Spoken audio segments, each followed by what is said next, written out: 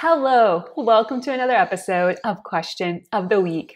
This week's question is When the tracheostomy tube balloon is filled, is there any way to speak Django? Thank you so much for your question. The answer to that question is maybe. The cuff on the tracheostomy tube can be inflated to various degrees. If the cuff is completely inflated, there is no way to speak. However, if the cuff is inflated just enough to create a seal in the trachea, then yes, it is possible to speak. Simply pressing the tracheostomy tube to one side of the trachea allows air to escape around the balloon and travel up through the vocal cords to produce speech. Let me show you. First, I will inflate my cuff. With the cuff inflated, I cannot speak.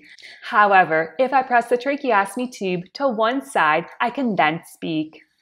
Hello, now I can talk. There is another method which can allow for speech with an inflated tracheostomy tube. However, it requires the use of a special tracheostomy tube which has a subglottic suction port on it. Above the cuff vocalization, abbreviated as ACV, is a method which may enable speech in patients who must use a tracheostomy tube with an inflated cuff.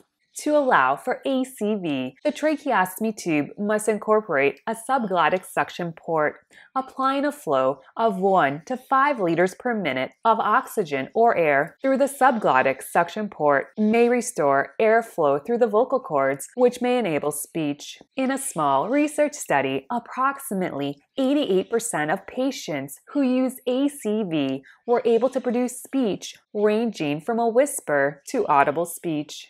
Thank you so much for your question. And remember, if you have a question, you can leave it below in the comments or submit it to me via Facebook, MeWe, Instagram, or email. Thank you so much for joining me. I hope you have a great day and a wonderful week. Bye bye.